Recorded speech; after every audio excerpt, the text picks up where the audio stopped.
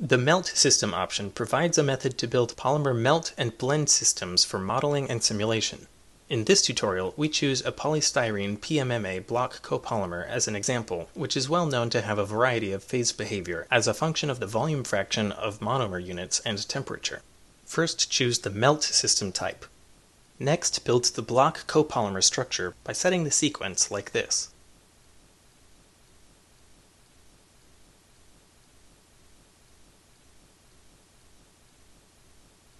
Then click Next.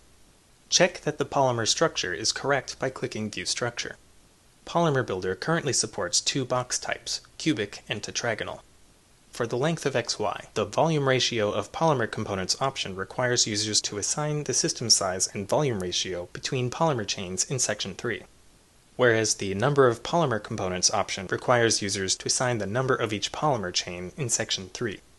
Then Polymer Builder automatically determines the system size. Note that you must click the Show System Size info button after making any change.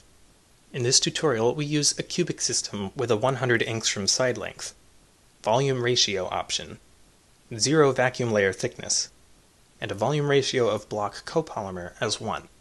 After clicking the Show System Size info button, the number of polymer chains will show up in the table. Then click the Next button. Information about the system size and composition is located in the Determined System section. This includes the all-atom polymer sequence and the coarse grain bead sequence. The chemical composition and interaction strength of each bead is shown in the table in section 2. In the equilibration section, Polymer Builder provides a recommended temperature for coarse grain simulation, but this value can be modified here. In this tutorial, we set the temperature to 600 Kelvin. After changing the temperature, you must click the Estimate button to predict equilibration time. The time can be modified here, but for now we leave it at its recommended value, 20 nanoseconds. After setting temperature and equilibration time, click Next. Polymer Builder uses OpenMM to run coarse grain equilibration, and you can see its progress here. After a few minutes, Polymer Builder shows an equilibrated polymer structure. As shown here, the block copolymers form a lamellar structure after equilibration, and the system size is nearly identical to its initial value.